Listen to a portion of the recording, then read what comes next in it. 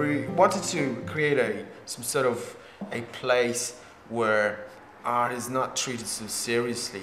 You know, it's not like an exclusive area for chosen people, but everyone can go in and do something and interact. It was a natural step from a studio, a small little studio area into um, um, having an extra exhibition area as well.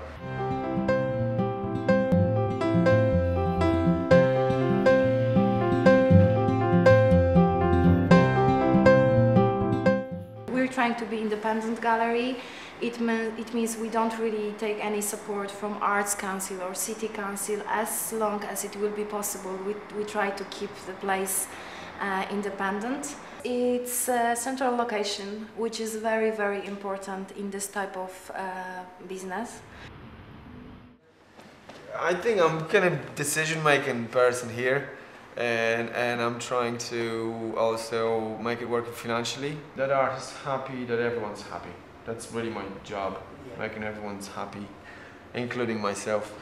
Uh, I'm an art curator here. I'm responsible for uh, promoting and organizing shows uh, here at the gallery. I'm also responsible for selecting works uh, for shows. There is no professional background.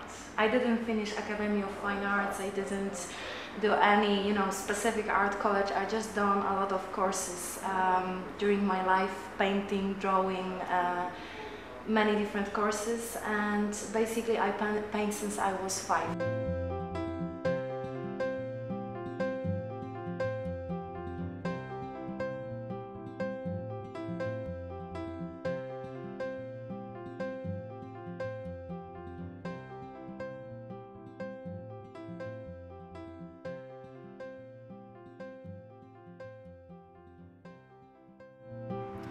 The difference between us and other galleries is that we also support, um, I would say, amateur artists.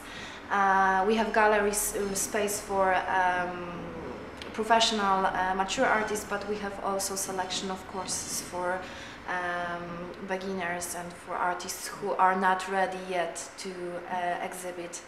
I think it's about um, promoting arts, promoting artists as well, not only through exhibiting them, but also um, various activities, consulting even. You know, people come over and, and they, they have questions and they're looking for answers, so we try to help them. It's art um, created from expression, from craziness, you know, from letting go and Yeah, brave brave. and mad. Well.